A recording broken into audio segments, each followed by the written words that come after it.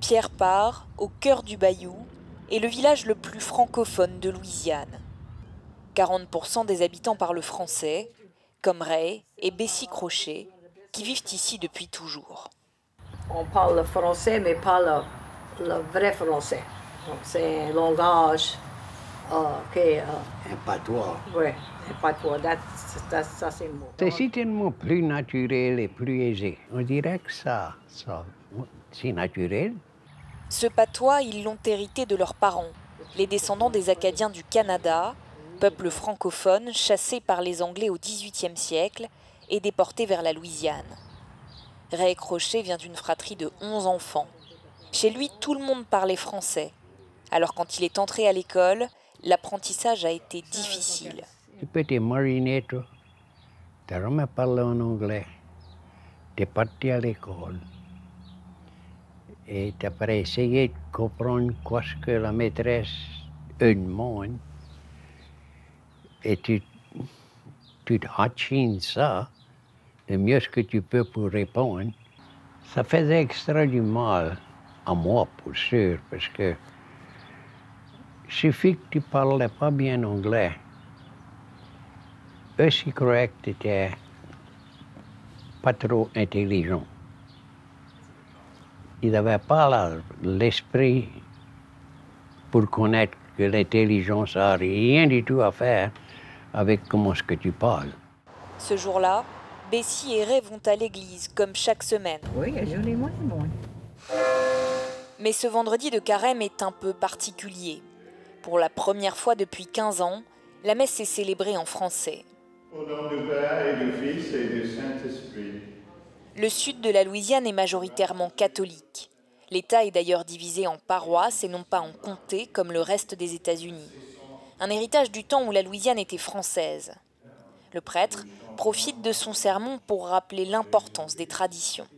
Les gens ont tout simplement laissé derrière une grande partie de notre culture française, notre cuisine, notre musique, notre manière de vivre, bien sûr notre langue française. Et dans l'évangile d'aujourd'hui, ces paroles de bon Dieu, je pense, nous encourager. N'oubliez pas la vérité qu'on a reçue de nos ancêtres. Au fil du temps, la culture américaine s'est imposée partout en Louisiane. L'interdiction du français dans les écoles entre 1921 et 1974 a conduit la génération de Ray à ne pas transmettre la langue à ses enfants. Ce jour-là pourtant, les chants résonnent comme au siècle dernier.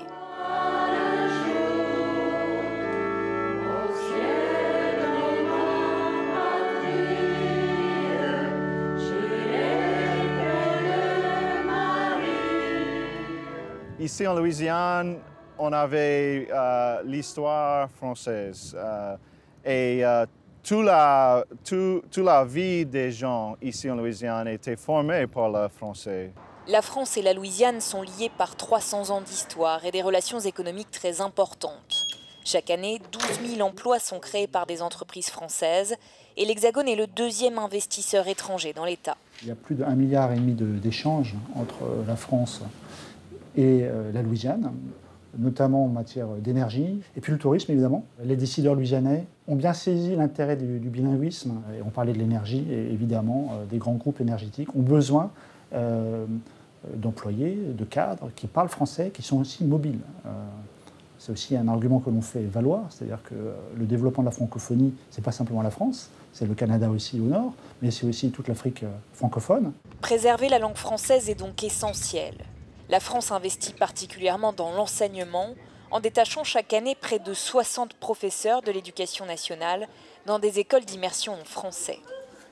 À l'école élémentaire Leblanc, 45 élèves de 4 à 6 ans alternent entre des cours en anglais et des cours en français. 3 heures et demie par jour, 5 jours par semaine.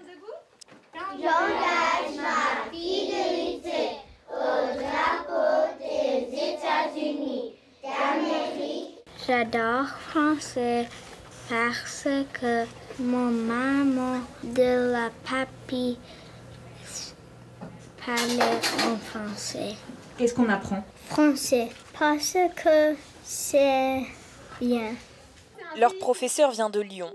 Elle est arrivée en Louisiane en début d'année en vertu des accords France-Louisiane. Aujourd'hui, elle enseigne à ses élèves de CE1 les continents.